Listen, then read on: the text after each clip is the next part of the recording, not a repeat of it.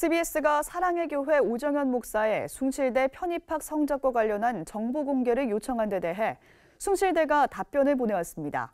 편입 학생의 학점과 관련해 여러 가능성을 모두 인정했으나 근거 서류는 제시하지 않고 학사 담당자의 기억에 의존했다고 밝혀 의혹이 해소될지는 미지수입니다. 송주열 기자의 보도입니다. 숭실대는 CBS가 사랑의 교회 오정현 목사의 편입학 성적과 관련한 정보 공개를 요청한 데 대해 최근 답변서를 보내왔습니다. CBS는 오정현 목사의 편입학 성적 논란과 관련해 1978학년도 편입학생 명단과 편입학 성적 증명서 작성 규정, 1977학년도 요람과 원학적부 전산화 지침의 공개를 요청했습니다.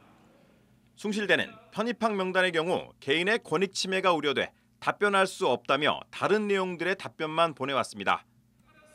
CBS가 제기한 의혹은 편입생인 오정현 목사의 성적 증명서가 보통의 성적 증명서와 같은 양식으로 표기했다는 점과 전적대학, 즉 관동대의 학점을 숭실대 학점으로 합산했다는 점 등이었습니다. 숭실대 측은 정보공개 청구 답변에서 1954년 입학생부터 1999년 2월 19일 졸업생까지 재적생의 학적부를 대상으로 2001년과 2002년 사이 학적부 전산화를 완료했다고 답했습니다. 숭실대는 학적부 원본의 내용을 최대한 반영한다는 전산화 원칙에 따라 원본의 내용을 최대한 반영했다며 편입생 학점 인정은 총점을 인정하거나 교과목별 성적을 부여해 인정한 경우 각각 그대로 적용한다고 밝혔습니다. 또 그 외 세부 사항은 학적부 원본의 내용을 최대한 반영한다는 원칙에 따라 당시 학적과장의 의사결정에 따랐다고 덧붙였습니다. 이어 학적부 전산화 원칙에 해당하는 근거 서류는 없으며 당시 담당자였던 학사팀장의 기억에 따른 것이라고 해명했습니다.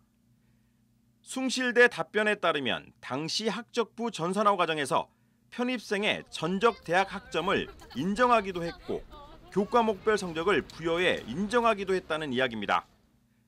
숭실대가 답변과 함께 보내온 1978학년도 요람을 살펴봤습니다. 편입생에 대한 학점 인정 규정에 따르면 편입생의 학점 인정은 소정 서식에 따라 학과목별로 사정하며 교양 과목은 교양 담당 책임자와 교무처장이 전공과 선택 과목은 학과장, 학장과 교무처장이 결정한다고 밝히고 있습니다.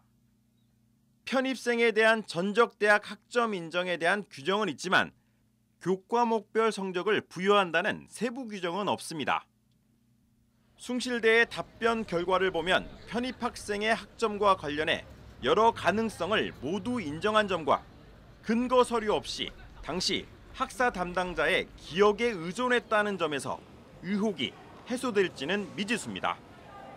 CBS 뉴스 송결입니다.